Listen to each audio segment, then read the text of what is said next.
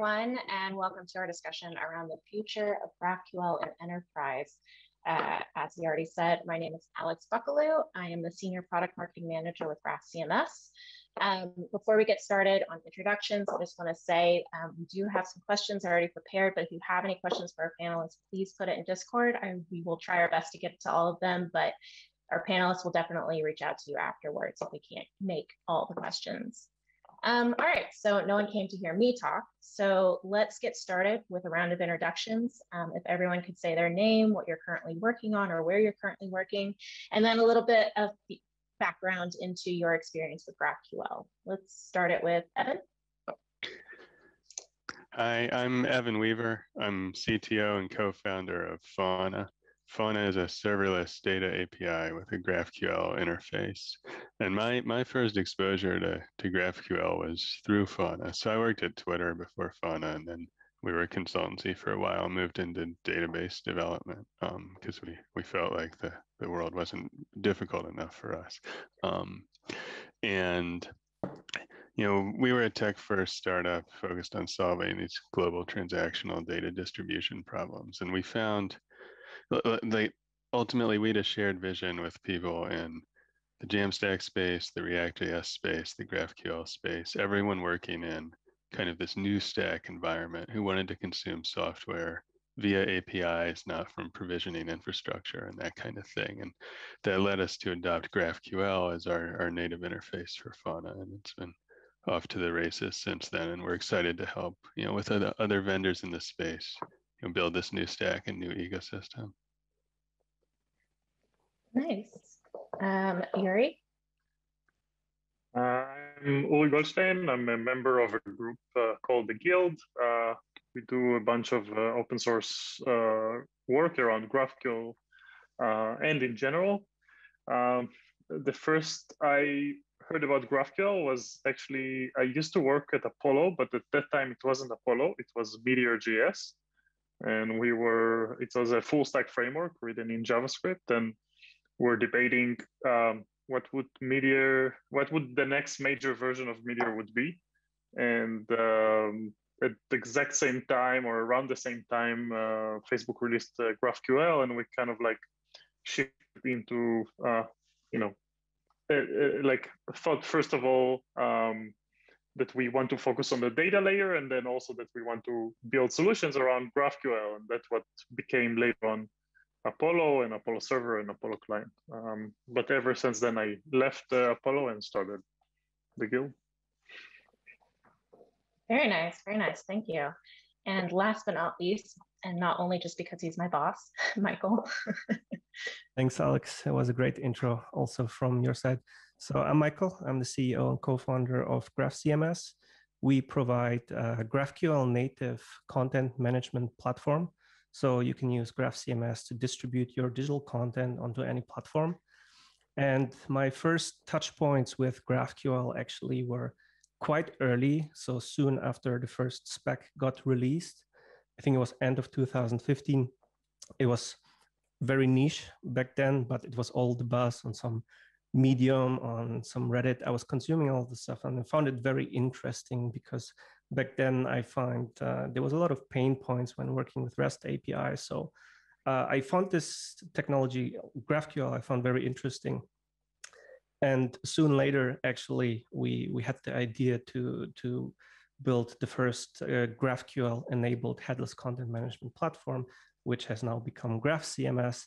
Uh, so we've been adopters from the first day, and it is very exciting to observe also throughout the years how GraphQL has changed over the years and the arguments why you would graph, use GraphQL nowadays, they have changed quite a bit.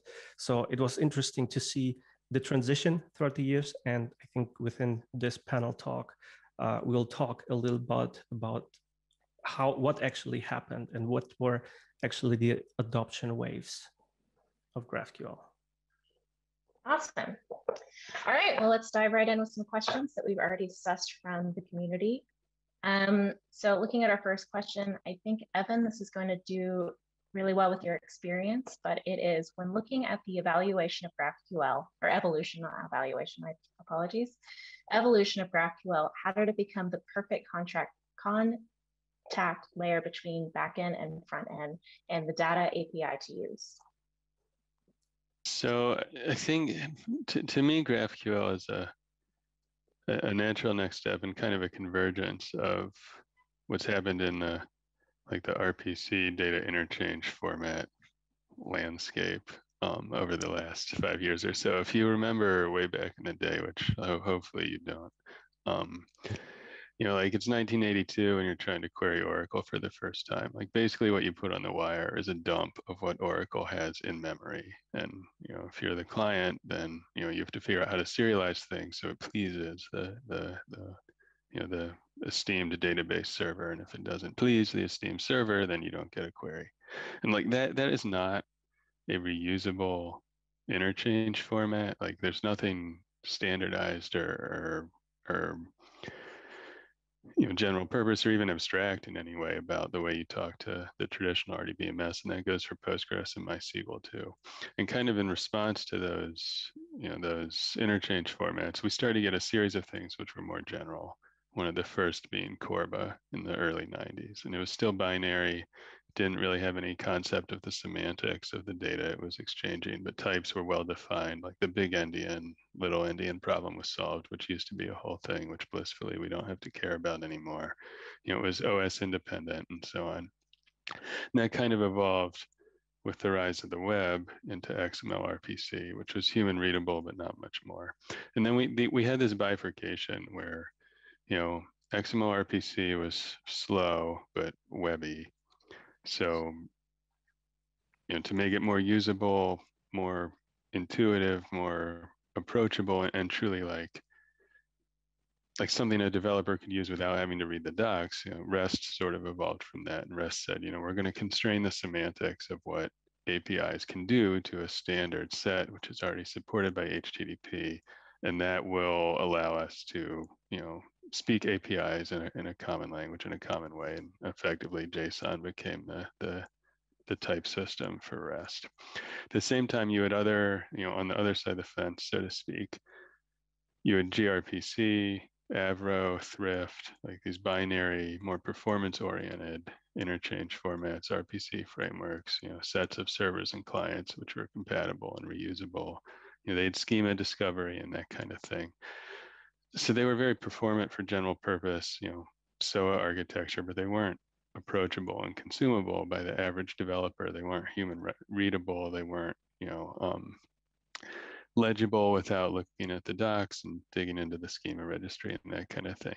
And what GraphQL really did is is merge these two streams, you know, the the, the consistent, semantically constrained, reusable thing with the general purpose, high performant abstract thing back together. And now we have a, a, a schema system. You can discover the schema, you can discover the verbs of your endpoint, but the types are constrained. It's human readable. JSON is now performant for machines to parse and emit.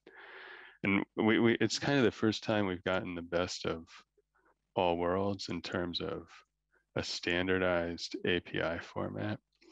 So I, th I think from our perspective, you know, almost all data data interchange with machines that that isn't hyper specialized is going to move to GraphQL, and I think that's a good thing.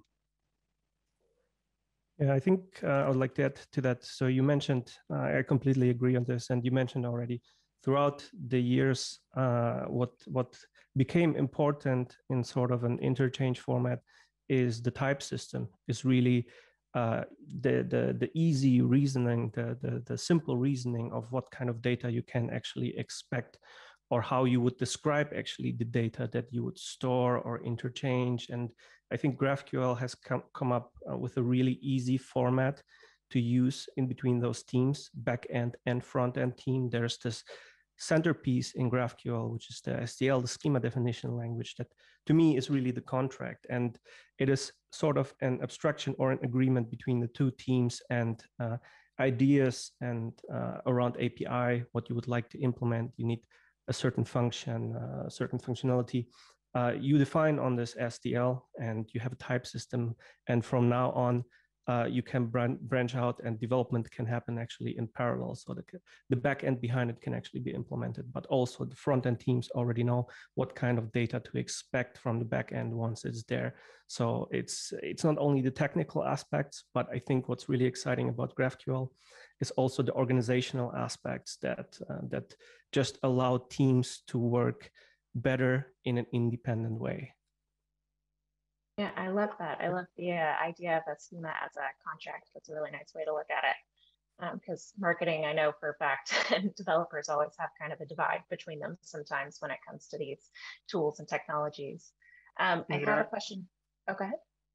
No, I just wanted to say I, I agree with all that, and I I also think you know I'm also came from like the web services world and WSDL and like we used to have like we used to have like uh, you know contract based APIs before I think but I mean you know uh, the ease of use of GraphQL I think is is is significant. I think something that for me is also um, uh, very interesting is the query language right? Like the fact basically that um, now the consumer like it, the provider can have some information about what the consumer actually the intent of the consumer.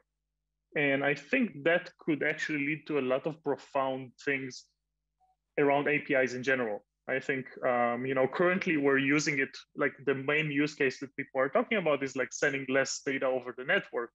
Um, but i think you know it could actually lead to uh, another like aspect of graphql which is like schema evolution in a smarter way. And I think um, that's a very interesting uh, property that, you know, uh, I think would for, for like third party APIs could be very profound and this information could be very valuable. Nice, nice. Um, all right, well, talking of scale and production, um, I think this question fits in nicely. Um, what are some of the techniques you've seen companies use to get the most out of GraphQL in their architecture? Um, uh, let's kick it off maybe with Michael, maybe Content Federation. Yeah, yeah. Um, it's it's it was interesting to observe throughout the years. So the typical arguments for GraphQL in the early days, it was the uh, like preventing the overfetching and underfetching, giving more uh, giving more power to the API consumer, to the client to be more flexible on this. Um, then later it evolved that more and more type generation around GraphQL became important. And I'm pretty sure Uri can talk a lot about this. And, and it will be exciting to talk about this also to touch about the developer experience aspect of type generation, etc.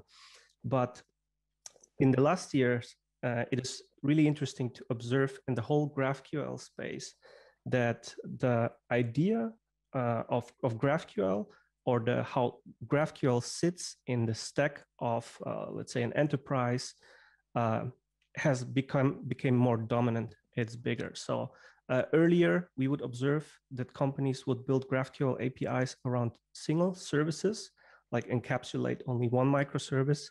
But then uh, more and more, we see now as those microservices are there and those GraphQL APIs are are there for those single mi microservices composition the composition aspect of apis becomes very exciting also. So uh, let's say you have a couple of apis that don't speak with each other but all of them give you a certain subset of data let's say let's say you have a cms api to fetch content but let's also say you have a product information management system in your stack or a digital asset management system that is delivering delivering you also data either via REST API or GraphQL API. When it gets exciting in terms of developer experience and, and, and, and the ease of use of an API is when you merge those APIs together, you compose them together and you get one new universal API out of it. So developers then consuming all of those services, they only need to speak one language and speak to one API. This is a trend uh, I'm not sure if, if Apollo actually coined the term federation or if it's a term from the GraphQL space itself, but definitely Apollo was pushing this trend forward. And then, uh, then also uh, other tooling providers like Hasura or like uh, the, the Guild actually recently doing a lot of development around this with GraphQL Mesh. This is something that we observe uh, recently in the ecosystem that excites customers and, and prospects a lot when we speak about how to orchestrate and combine those APIs, they really get excited. Like conversations change really, and uh, and you would always hear, ah, yes, if I would have known about this concept of federation or how to compose APIs in my last project, that would have saved me a lot of headache. Uh, so we see an ad adoption from microservices to we call them internally macro services. I'm not sure if this is actually the right terminology for this or if it means something different, but I like the term growing, going from small single services to a composition uh, of a pool of something bigger. Yeah. At, at, at Fauna, I think Go ahead. And, at, at, at Fauna, I think like one, one of the trends we see in Hope hope continues is is it's it's adjacent to the federation you're talking about like originally graphql was something that lived at your security perimeter. Like you have all the backend crap in the firewall in the cloud account. It talks to each other in its own way with its own security policy and it presents a graphql interface to the consumer like whoever's building the mobile app or the developer using yeah. your api that kind of thing. But now we're seeing and fauna is certainly part of this trend now we're seeing you know its use internal to the infrastructure like it's a good general purpose format partly because of the constant you know negotiation of the representation it decouples clients which can all be within the security perimeter or not. And the, the more the more the security model for graphql on the web evolves in the future too the less it will matter where these services live. You'll be able to use more serverless services more third parties integrated together seamlessly in a way that right now it's kind of hard to do unless you're locked into like a single hyperscale cloud vendor's personal world. So one of the things we're most excited about is that not only does it make infrastructure services easier to consume and easier to understand and easier to to integrate, but it, it lets you choose, you know, best of breed tools for your use case, regardless of your existing you know commitment to a specific cloud or to a specific vendor or a specific security framework and that kind of thing yeah absolutely and i, I think there's uh, we can observe a lot of investments in the whole graphql space going in that direction enabling those use cases to combine and merge apis like just just recently uh, netlify made an acquisition they they acquired onegraph which i found very interesting uh, as a as a tool. And so they're following they're they're evolving to the vision also now to to merge those or to to give an easy to use marketplace for APIs for Jamstack APIs, getting them together. And I think that's a very interesting value proposition. I think that is something that we will observe more in the future. Uh, actually, having vendors that provide a big set of uh, predefined API connectors, you could just select some of them and define eventually business logic on how they actually interchange data, and then uh, you get a generated API out of it, being able consuming all of those services.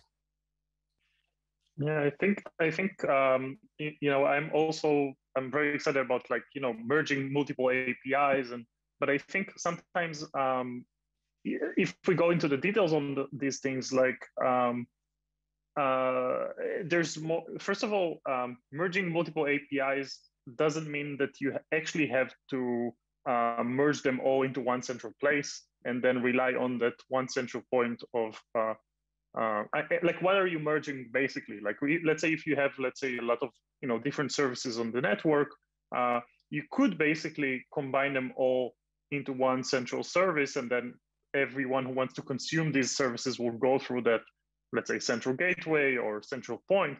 Um, on the other hand like you could just register all those different services in a uh, let's say a service registry or something like that.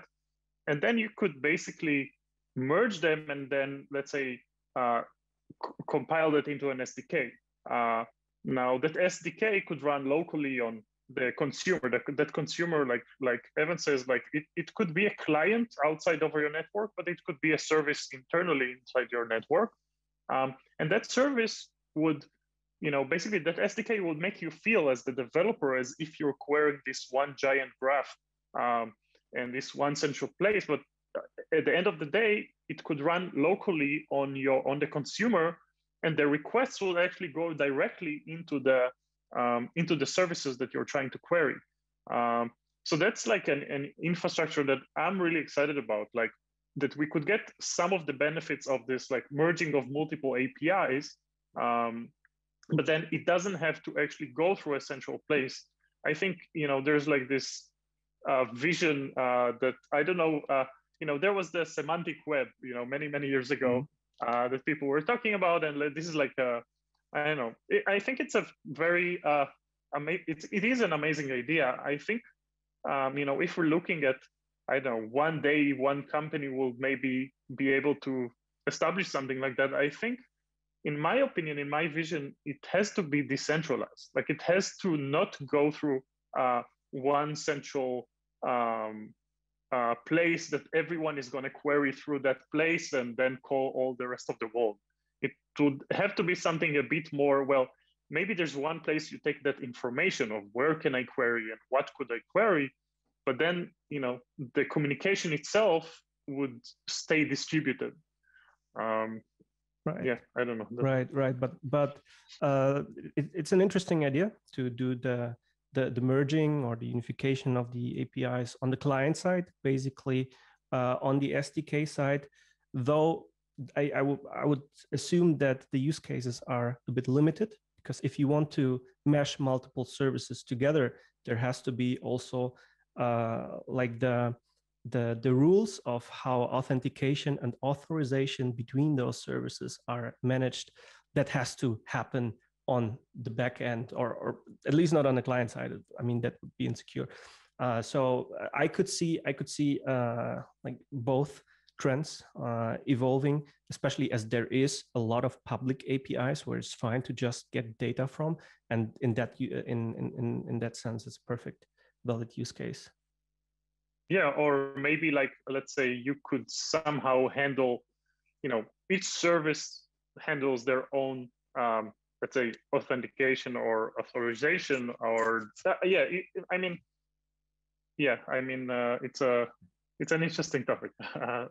Just just to add to this uh, it only i think not necessarily those th those services can take care of authentication and authorization but if you do also cross joins of data you want to join data across multiple systems uh, this uh, the the authorization logic that needs to understand the joining also needs to happen somewhere in front. I think this is one of the very big challenges actually in federation, how to do authentic authentication is probably the easy easier part.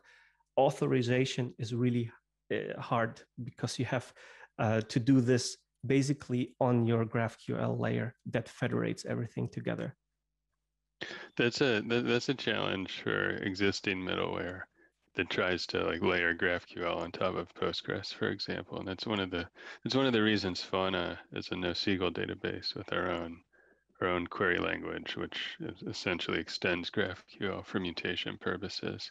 Like if your underlying infrastructure doesn't share the same, you know, authorization and identification semantics as you know the the the tools farther up the chain, then you, you end up with potential breaches and a lot more developer headache and maintenance just to get you know your basic queries running. And i think performance management is in a similar place with graphql right now. Like you know you can federate a whole bunch of apis but if you're trying to do this massive merge query of different vendors and one of them is slow. Like what do you do? And what one of the one of the benefits of you know infrastructure services offering graphql instead of more like long-lived connection-oriented interfaces and proprietary interchange formats is that you know the, the web security model allows clients to do an end run around some of those performance considerations when they're when when they're in the way. So you can have your federated layer, can query cool stuff, do cross joins, whatever you want there. But you know if some query is more performance sensitive for the user experience, you can hit that service directly from the yeah. client, wherever the client is. And then you can, especially at least with fauna, you know, you can get routed to the local, the nearest data center for the region group that that database is in. You don't have to like backhaul back to US East 1, which is probably down because, you know. I would have actually one one follow up question to you, Evan, uh, in regards to to fauna. Is um, uh, I've I've been uh, I've been playing around with fauna earlier. It's an it's an amazing tool, uh, really. Um, back then, uh, there was only FQL, basically the Fauna query language. Later on, right, you added GraphQL to the mix also. Did you see a change, like the, did the adoption of the tool, did, did it benefit for adding the GraphQL layer to it? Yeah, absolutely it did. It's important, in, in, in infrastructure, it's important to have an approachable interface for whatever that means. So like that could be SQL, but then you're constrained by whatever SQL can do. SQL was designed for business reporting and extending it beyond that is challenging. So we believe it's not the, the ideal interface for operational data. It's great for analytics, OLAP, that kind of thing. Um, you could also do something like copy an existing popular API like Mongo or something and try to take advantage of that client ecosystem. But then again, you know, you're constrained by the, the existing capability of that tool. You're constrained by that vendor's ability to evolve the spec against your wishes, which is like a, a real problem that AWS has with DocumentDB, for example.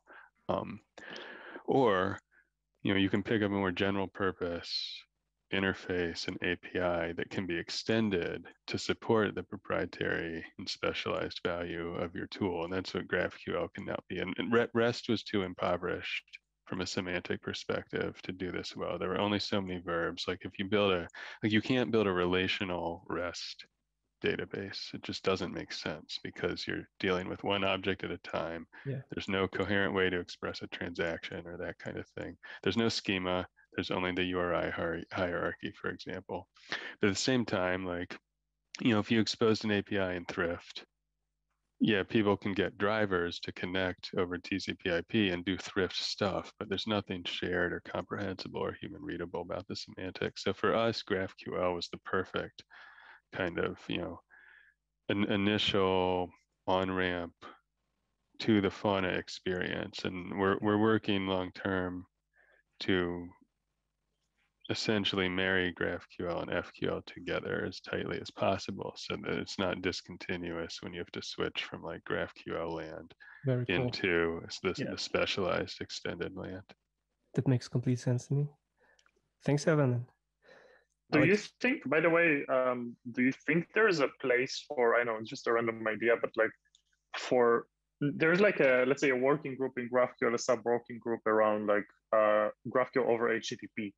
Do you think there's like a place for, let's say, storage? Um, I don't know how to say it, but like, let's say um, all kinds of people are building actually GraphQL over databases or things like that to collaborate on um, let's say a more elaborate uh, version of GraphQL where you know you share some semantics with how you query certain things and um, yeah, like I, I mean, I'm just yeah, I don't know. Do you think it's something that is possible, or it's like th- those different solutions are too um, are too um, different? So yeah, Graph GraphQL doesn't have a mutation language. Like it, it gives you gives you schema, it gives you selection, it gives you resolver endpoints, which are defined elsewhere. Like what happens in the elsewhere is completely unconstrained right now, for better or worse. And you see systems that basically shove a bunch of SQL into the into the resolver endpoint. Like it has very little to do with what's presented in the GraphQL interface itself, and so on. Um, you know, can we extend GraphQL as a language to support mutations and transactions generally in a seamless way? Yes, we can. I don't think it's going to evolve like as a committee driven standard. I mean, I mean, I'm on the GraphQL Foundation board as well, and like I don't think it's the right thing for you know the GraphQL as as a as a oversight group to to mandate. I think it's the kind of thing which will evolve from the community, and we'll start to see patterns emerge, and vendors like ourselves, you know, will offer innovations and ways to to you know conform with the existing GraphQL semantics and still do more sophisticated data logic and even compute logic as well, and others will adopt those. And potentially at some point that can be standardized or at least partially standardized, which is it's more reflective of how SQL evolved originally too. You know, we had the we had System R, and then we had Oracle's implementation of that, which essentially set the first standard. Cool. Thanks a lot, Evan. Think uh, looking at the time, Alex, uh, do we have more questions lined up? We we don't have too much time left, but I have kind of a sweeping question for all of you that I'm very interested to ask. Um, I was just really curious about, with your time with GraphQL, what are your predictions for the future, either because of GraphQL or clients or you know anything? Uri, you want to start on this? Uh, sorry, what, what's the question again? I, I, it cut off for me just when you oh, sorry, the choice of doing this over Zoom. Um, what is what are your predictions for the future for GraphQL? How will it change things? How will it, how will it evolve? I know very general, you know, very vague question, but it's the philosophical um, questions now. yeah, yeah, dig deep. I, I, think I think um, some things that I uh, I don't know I can so uh, some things that I care about or I hope will happen is um, I think there's a lot of new features coming. Um, they're coming slow and it's a good thing, but uh, they're coming like different stream, uh, live queries, um, oneOf directives, um, uh, client-side nullability. Like oh, oh, there's a lot of uh, new spec changes that I think are very exciting. Um, they're already being used in uh, let's say inside Facebook, for example, and I think they will be valuable for many others. Uh, one thing that we uh, did recently um, is that we gave options for people to use um, these features outside of the spec as well. Um, and I think that might encourage uh, you know more people to try these features out and then give feedback, and that will actually make you know uh, the working group and uh, uh, just you know adopt these things faster um, a bit like what Evan said, like you know that the there will be some people who push the the the, the envelope forward, and then um, others, you know, the the the the standards will follow. Um, and I think um, also, so that's something that I, I care about, and I think it will be easier. Um, I I see also um, in in like I, I, in our case uh, we see more and more of like taking that um, uh, that interoperability with like other um, uh, API specs. So in our case, you know, we're talking about GraphQL Mesh, where it's a tool where we could take any basically source like you know OpenAPI, Swagger, uh, gRPC, um, so and then basically convert that automatically into GraphQL and let you query these things. And first of all, I think it will help a lot of adoption uh, because I think uh, it makes it easier to just start with GraphQL uh, over whatever you have already. Uh, and the second thing that we're seeing is that by interrupt, interrupting with those uh, all these different protocols, we actually find really cool features in these other protocols that we want to then bring into the GraphQL spec. Um, so yeah, those are just a couple of things that I'm excited about. Evan, what would be your prediction? I mean, I think you know the we we see lots of refinement and evolution of of the small features, um, you know, extending for for common web use cases. I think that the things the things I'm excited about are you know more long term, like you know, can GraphQL be useful outside of the typical, be more useful outside of the typical, you know, front end application querying an API context? Like, can we get the security model standardized in an interoperable general purpose way across vendors in the entire ecosystem? You know, can, can like, you know, REST provided implementation patterns and, and made things comprehensible for an individual developer, but it didn't, it didn't it didn't give you that like so to speak like rich tapestry of services you could consume like we were promised in the semantic web days or the xml rpc days like you know the the dream that you know you'd have one cent to get a stock quote and you'd go find the best service on the fly to get that quote and it would come back in a, a common format. Like people aren't really going to do that but what they are going to do is be able to mix and match very aggressively more sophisticated and special purpose and innovative infrastructure and API and business services than they were able to before. And I have just a quick addition to this question. Um, it was given to us by the audience. Uh, but if you could expand also on any use cases you wish GraphQL could expand on in the future. So just putting that out there for the last few minutes, if anyone has any ideas. And Michael, please So, go ahead.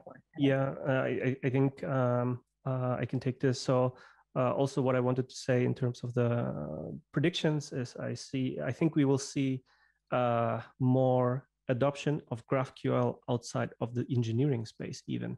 To me, uh, GraphQL is uh, a simplified or can be a simplified SQL that enforces some rules. And therefore, it's also very useful, a useful query language for data outside of the engineering application development realm. It, uh, I'm thinking of uh, data analysts eventually or marketing team that need to uh, get information, very complex data graphs, informations on uh, on eventually marketing data. Uh, so uh, to, to me, I think we'll see adoption of GraphQL outside of engineering. Yes. Got it. Well, I think that is the perfect place to stop this discussion. Thank you guys so, so much um, for being such good sports and answering these questions and giving such wonderful value, valuable insights.